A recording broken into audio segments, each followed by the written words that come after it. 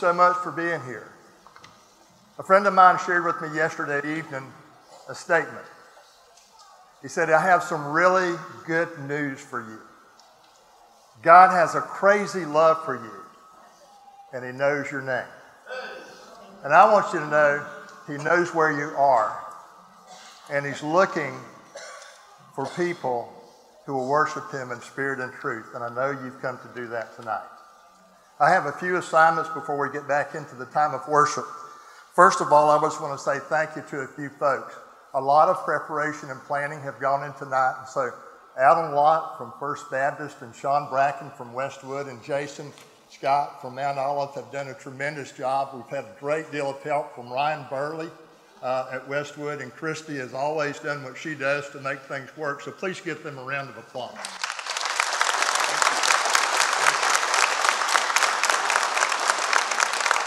I also want to take care of a little business before I forget. It's not on my notes. The boys' bathrooms are over here, and the girls' bathrooms are over here. Okay? So, boys, stay this side. In the back, you'll see a booth for uh, Good News to OneByOne.org, which is a free tract ministry. Brother Ronnie Gore, who participates with Wellborn Baptist Church and his brother's church in Jacksonville. He's got dual membership, I think. But these are free, and he came to share with us tonight.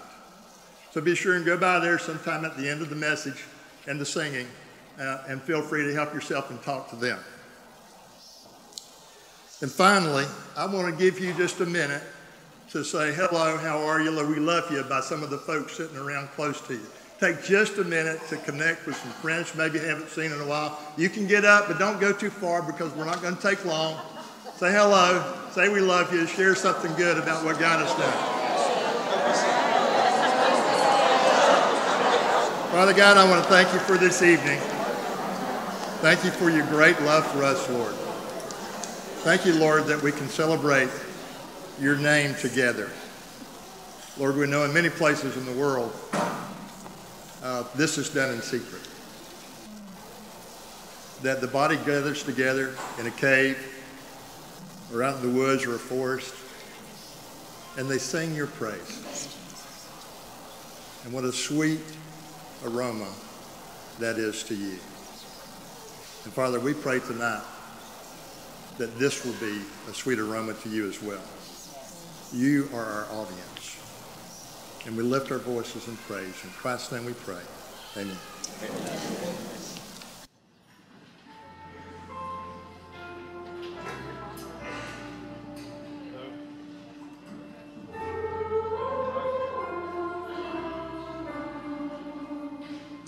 Were creation suddenly articulate?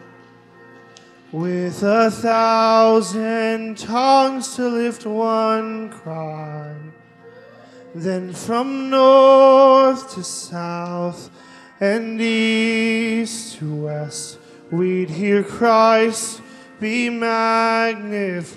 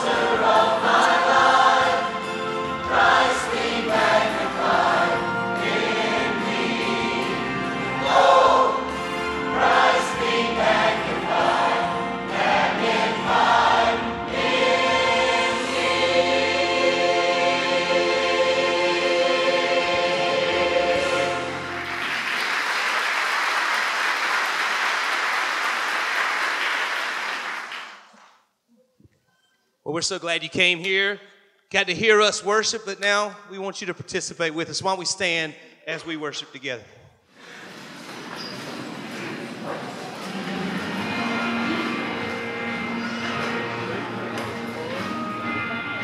Come on, let's sing out to the Lord. Oh Lord, my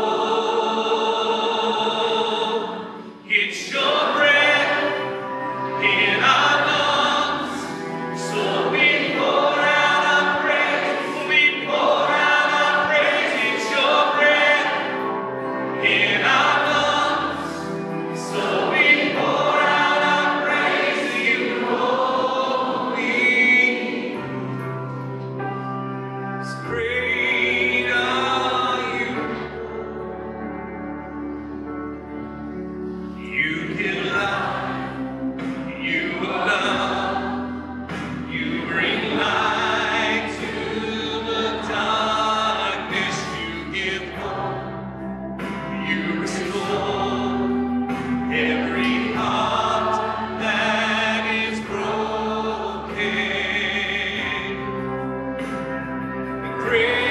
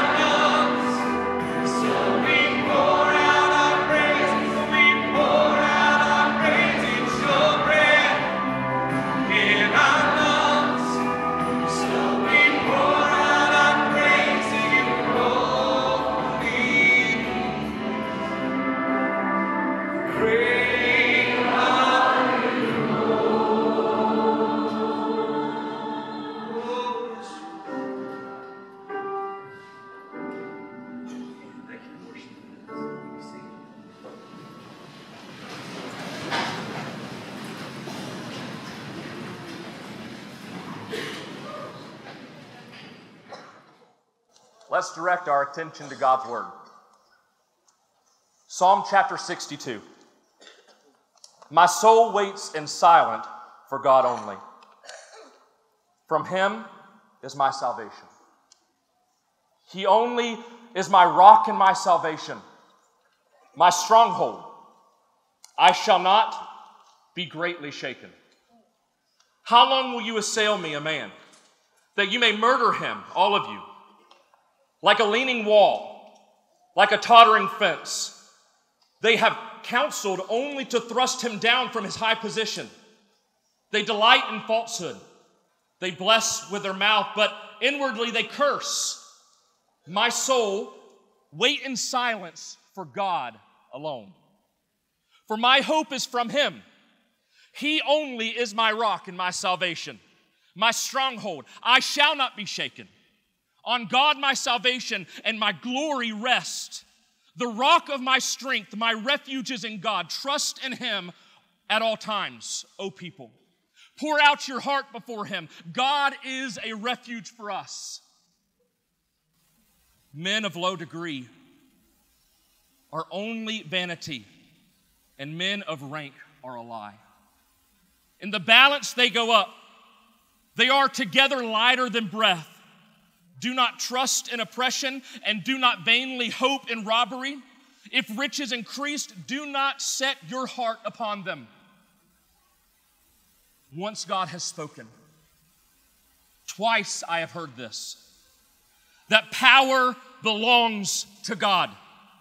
And love kindness is yours, O Lord, for you recompense a man according to his works. And then we read in Matthew chapter 7, starting in verse 24. Therefore, everyone who hears the word, these words of mine and act on them may be compared to a wise man who has built his house on the rock. And the rain fell, and the floods came, and the winds blew and slammed against that house, and yet it did not fall, for it has been founded on the rock. Everyone who hears these words of mine and does not act on them will be like a foolish man who builds his house on the sand.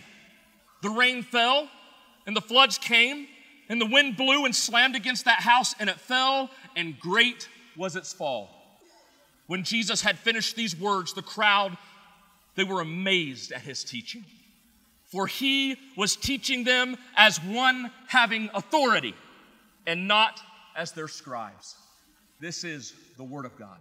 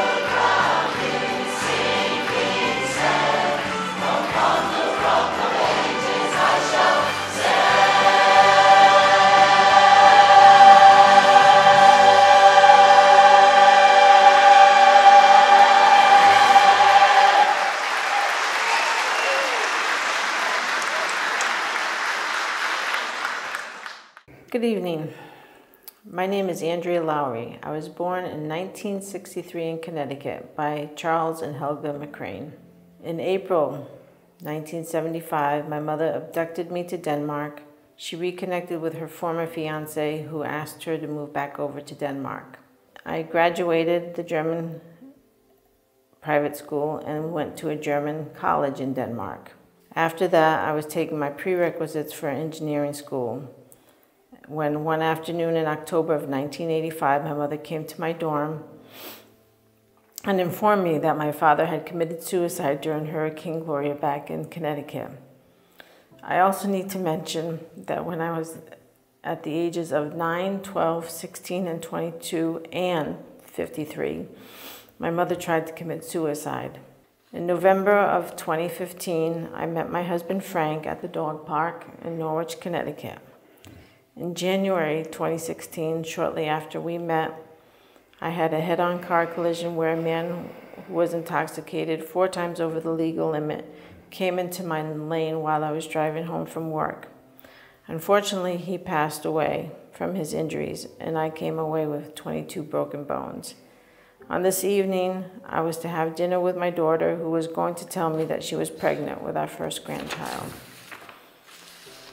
After eight surgeries and extensive rehabilitation, I was able to move on with my life and asked my then boyfriend Frank, who now is my husband, if he would marry me.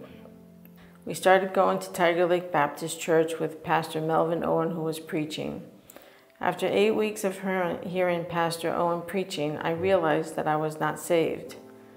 One Sunday, after the church service, Frank said, Hop in. But I stood there feeling hopeless and I was crying that I needed to speak to Pastor Owen because I realized I am not saved. So that day I gave my life to the Lord. God gave me another chance to accept Jesus Christ as my Lord and Savior. If you read Ephesians chapter 2, verses 8 and 9, it says, For it is by grace you have been saved through faith, and this is not from yourselves. It is the gift of God, not by works, so that no one can boast. Amen. Amen. Amen. Thank you, Lord. Hello to one and all. My name is Byron Frank Lowry. I was born in Key West, Florida. Uh, I lived in Key West until the age of about five and a half, six. But during that time, I lied, I stole, I even started a fire in the house. I had run away from the home. At the age of 17, I finally made a choice.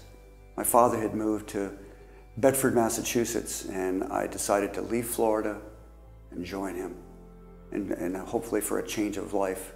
But my sinful nature came with me, something you cannot get away from. In Bedford, Massachusetts, I proceeded to continue a life of crime, arson, vandalism, uh, to the point where I ended up uh, buying a car, a 70 GTO convertible, and took three of my friends for a joyride. We ended up in a horrific accident where I was doing 130 miles an hour, skidded a long ways before hitting a tree, a telephone pole, and another tree and stopped. The car's frame was snapped in four places. The only thing that was recognizable in the car was the trunk lid and we all walked away. And finally, a young man named Victor Irizarry, I'll never forget him. Victor Irizarry invited me to go to a church meeting that they were having at his church where a man was going to be preaching.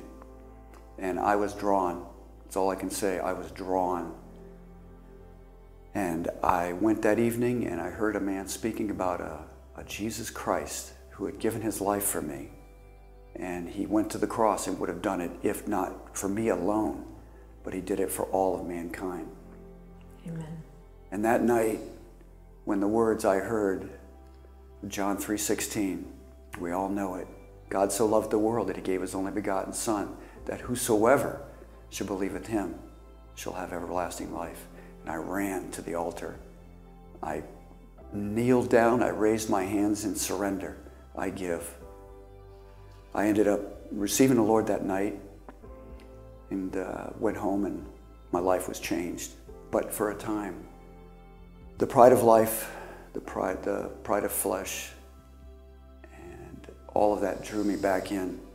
And I continued for a time drinking excessively uh, due to alcohol, and finally passed out at home at the dinner table. Uh, I had gone into a deep, deep uh, drinking binge, and to the point where I had alcohol poisoning, and I was laying in bed and I knew I was dying. I knew this was it. The Lord moved upon my heart when I did as the scripture says. I, he stands at the door and he knocks, and there's only one doorknob, and it's on our side. And I opened that door, and he came in, and he supped with me. And I experienced something I had never experienced before the peace that passes all understanding. All my pitfalls, all everything that I had done just fell by the wayside. And I felt this renewing and experienced a renewing in my life to where I was able to be a true husband to my wife and a father to my son. And with that, I would just say, Praise God. And we're here to praise Him tonight. And let's give Him the worship. He is the great I am, the living God. Thank you, folks. Be blessed.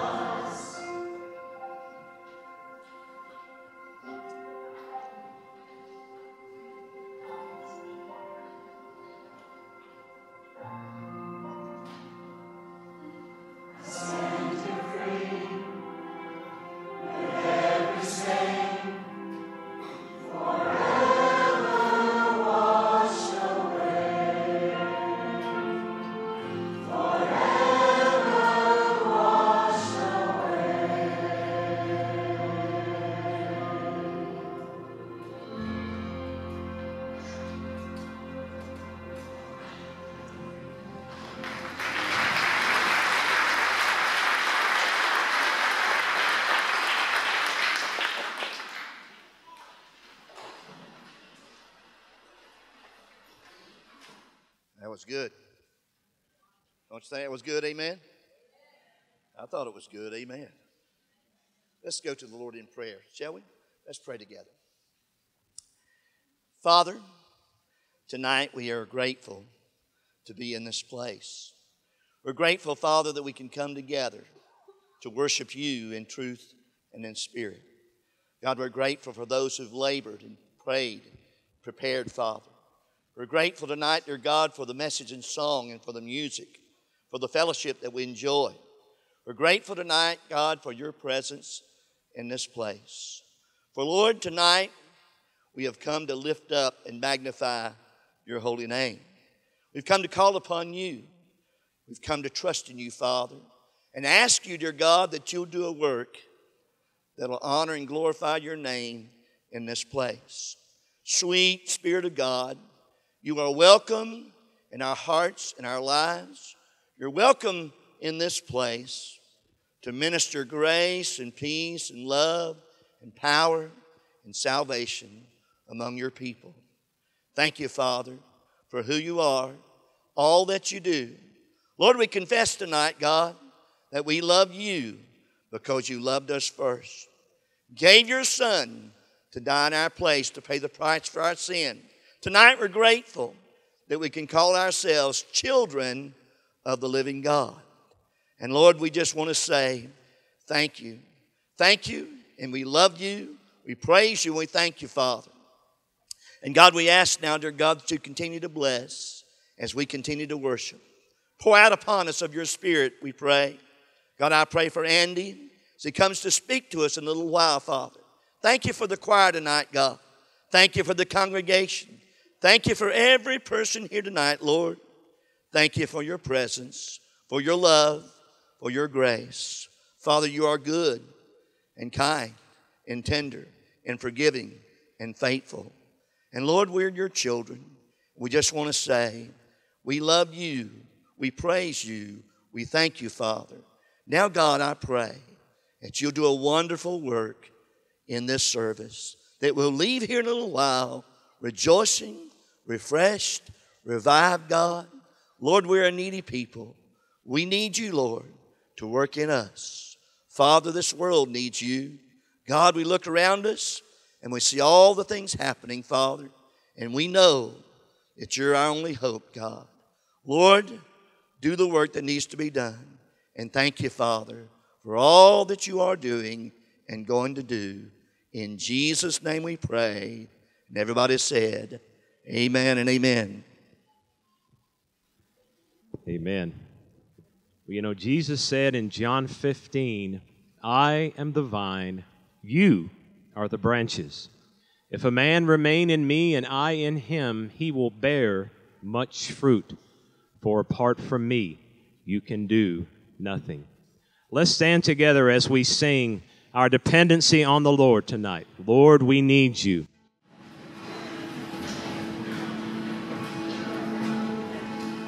Lord, I come.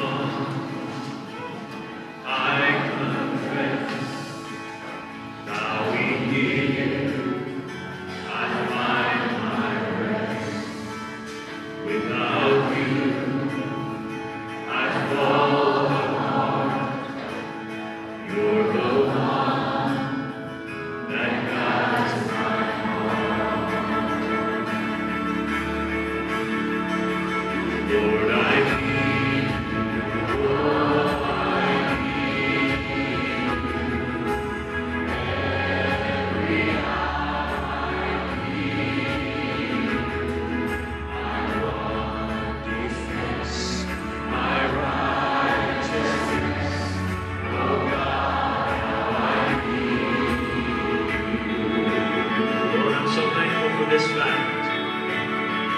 Where sin runs deep, your grace is more.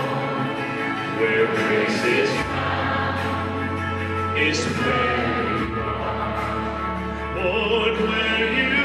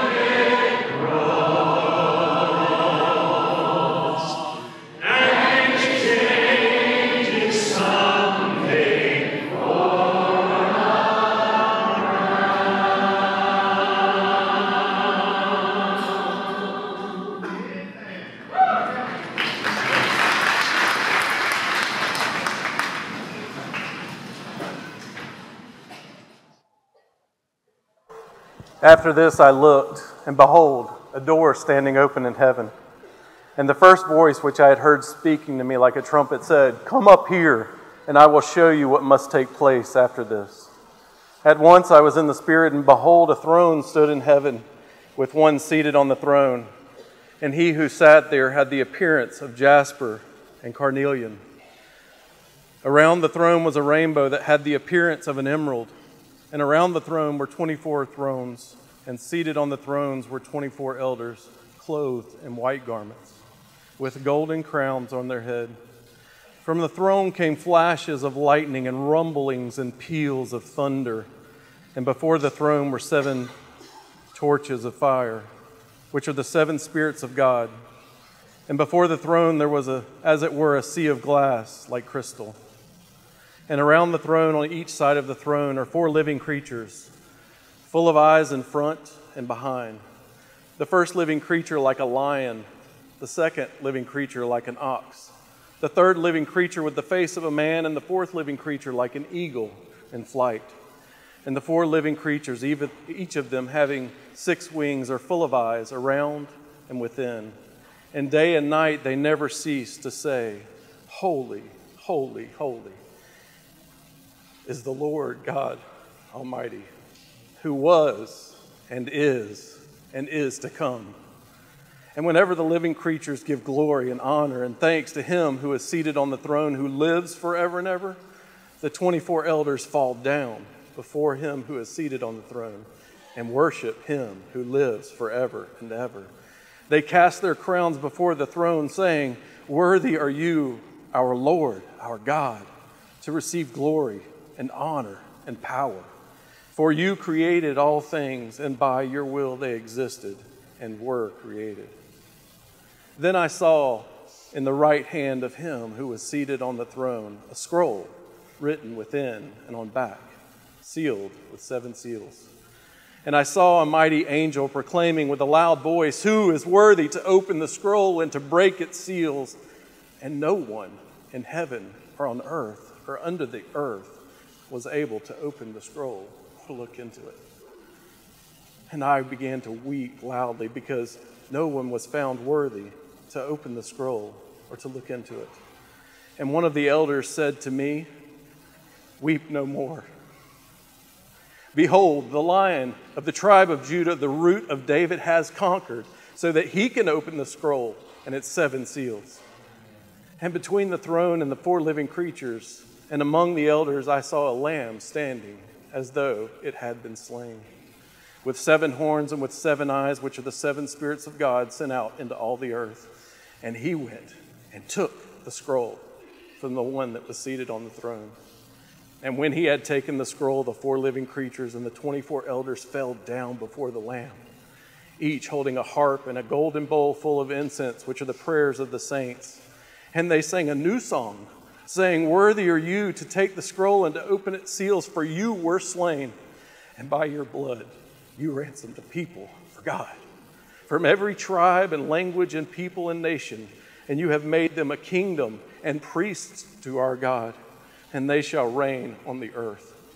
Then I looked and I heard around the throne and the living creatures and the elders the voice of many angels, myriads of myriads and thousands of thousands, saying with a loud voice, Worthy is the Lamb who was slain to receive power and wealth and wisdom and might and honor and glory and blessing.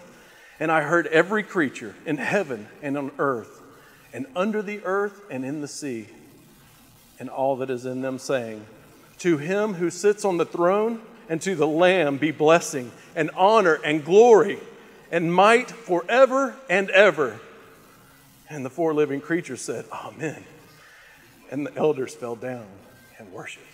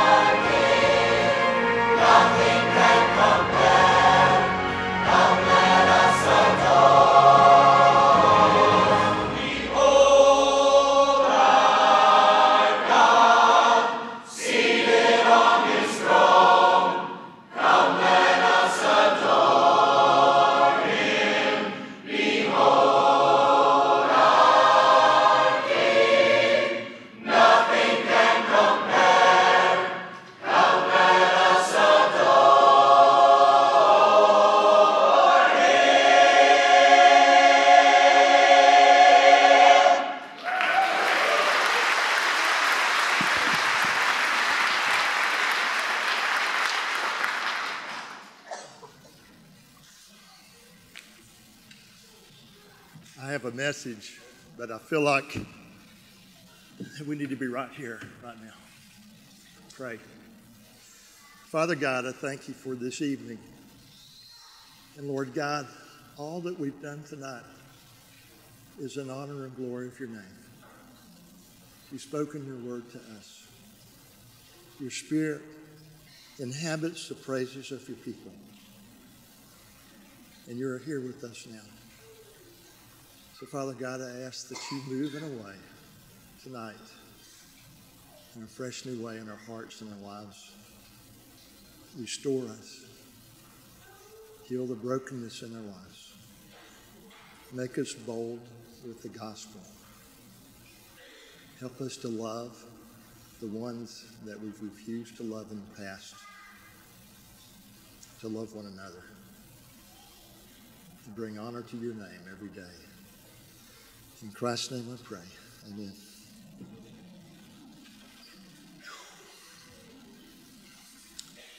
You've heard the testimony of so many. You've heard the testimony of the psalmist and the apostle John. As the scripture's been read, you've been hearing, hearing the testimony and song, and you've participated in it all night. And it's been wonderful.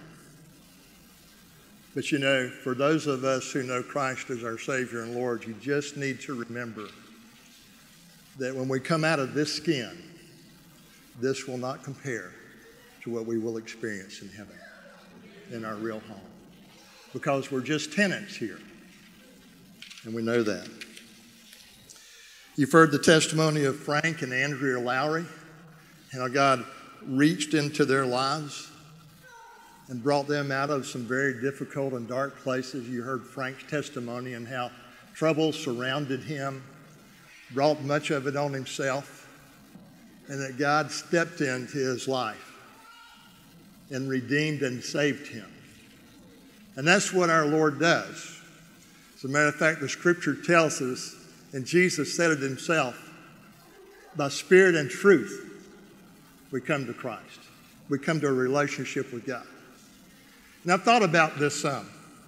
You know, Frank's story and testimony is very much different from mine, but in some ways exactly the same. It's different that I didn't have that hard life. I had a different type of life. I grew up in the church. I was baptized at an early age, but I didn't know what that really meant. I was a good kid. I never did some of the things Frank did.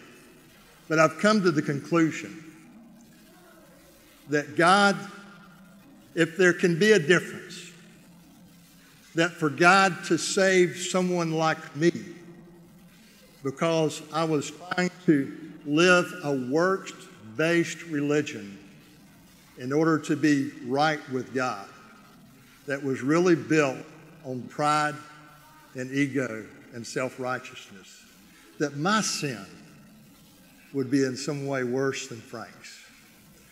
I didn't steal or burn anything down or wreck a car like that. But everything else, I had that same nature in me. And Christ gave me a new life, just like he did Frank. I had a works based religion, but one day I discovered that what Jesus really wanted was a faith based relationship. I'm going to ask you to just listen to some scripture from John chapter 4 because it tells the story of a woman that Jesus met one day at a well. And you know this story if you've ever been in Sunday school or vacation Bible school for very long. You know the story of the woman that lived in Samaria, a town of Sychar in Samaria, and Jesus and his disciples had to go from Judea back up to Galilee, and they had to cross through Samaria. And the disciples, like all good Jewish men, said, Well, we don't go through that territory, we go around it. And the scripture tells us that Jesus told his disciples, I must go through Samaria because he had an appointment with this woman. And it makes me stop for just a second and realize that many of us maybe came tonight to hear the music, to experience this event, But Jesus has shown up and he wants to do business with you. He wants to deal with you and deal with the brokenness in your own heart and your own life. You may be like this woman who had so much of a wrecked life that when she began to have this conversation with Jesus and it got into the, the, the meat of the discussion, and he asked her to go and call her husband, and she said, I don't have one, that she finally had to admit that her life was broken because she only had been married six times, and the one she was with at that moment wasn't even her husband. So she was coming to this well, this space in her world outside this village to get water in the heat of the day because no one accepted her anymore because she was an outcast in her, in her family. She was an outcast in her community. She was an outcast among the women in her village. And Jesus sat down at that well, tired and thirsty, and asked her for a drink. And he says these things to her. This woman came from Samaria to draw water, and Jesus said to her, Give me a drink. His disciples had gone away into the city to buy food, and the Samaritan woman said to him, How is it that you, a Jew, ask for a drink from me, a woman of Samaria? And Jesus answered her, and he said, If you knew the gift of God, who it is that is saying to you, Give me a drink, you would have asked him, and he would have given you living water. You see, Jesus is looking for the outcast, and he connects with the hopeless, and he loves the brokenhearted. And we've all been there at some point in time. And maybe you're there right now. Maybe you are like I was, and you were trying to make yourself right with God by the things that you did in an attempt to please Him. But you can't do that because that water pot will always be empty. And you never can fill it up. He goes on to have this discussion. She says to him, Sir, if you have nothing to draw water with and the well is deep, where do you get that living water? Are you greater than our father Jacob? She had a religious background, she had a heritage there. And he gave us the well and drank from it himself, as did his sons and his livestock. It's really interesting to me that she asked him that question Are you greater than our father Jacob? Well, yeah, just a little bit. Right? You see, sometimes we don't even know the truth staring us in the face, and we don't realize it because we're in darkness. Well, he goes on to say to her, Everyone who drinks of this water will be thirsty again, but whoever drinks of the water that I will give him will never be thirsty again. The water that I will give him will become in him a spring of water welling up to eternal life. You see, what does happen in our lives when we come to Christ as our Savior and our Lord is not just that we have this home in heaven, but we have a new life here today. And you heard that story from Frank and Andrew, and you've seen it in other people's lives. And there's this place that we're walking right now, but it's not ours, but we have this new life today, and that's what makes a difference. That's why when tragedy comes into our lives, when brokenness happens, we still have hope. And this woman had come to this well without hope. So she said, well, Sir, give me this water so I will not be thirsty again and come here to draw water. She had been tired of doing that. And of course, that's when he said, Why don't you bring your husband here and let's have a conversation? And then she tried to change the subject. And she said to him, Sir, I perceive that you're a prophet. That wouldn't be too difficult. Our fathers worshiped on this mountain, but you say in Jerusalem is a place where people ought to worship. And Jesus said to her, Woman, believe me, the hour is coming. And as neither when on this mountain nor in Jerusalem will you worship the Father. You worship what you do not know. We worship what we know, for salvation is from the Jews, but the hour is coming and is now here when true worshipers will worship the Father in spirit and truth. For the Father is seeking such people to worship Him. God is spirit, and those who worship Him must worship in spirit and in truth. Isn't it a wonderful thing to realize? Although we can't get there by ourselves, we're blind, we can't find the way. The woman is a great example that she was looking for something, but she didn't know what it was. And she kept going back to the same place every day to try to refill that water pot. But one day, Jesus showed up at the well. And Jesus sat down and engaged in a conversation with her. You know, maybe in today what we would have said is he might have said something like this Hey, guess what?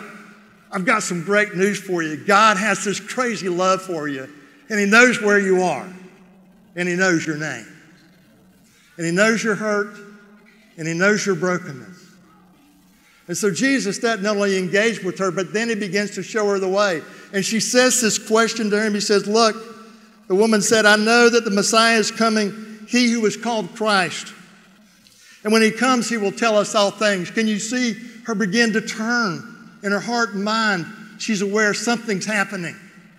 And Jesus says these words to her I who speak to you am he. Let me tell you what.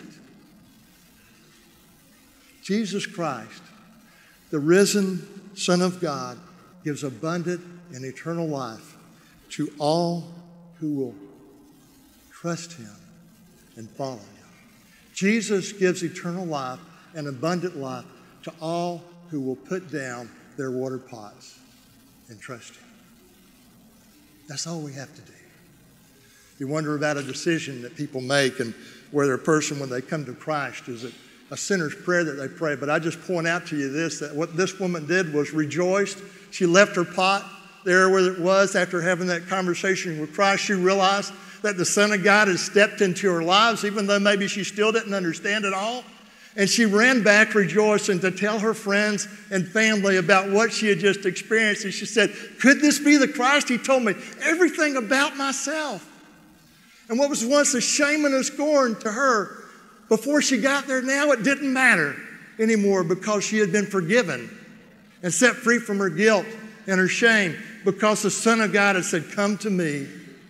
I want to love you. I want you to be with me.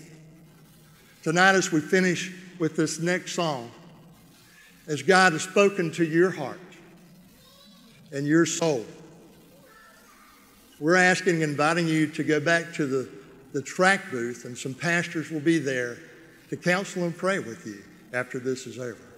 Father God, I thank you for this day and this evening. Thank you for my brothers and sisters and their friends who've come together tonight to worship and celebrate who you are. Father, thank you for receiving our praise. In Christ's name we pray. Amen.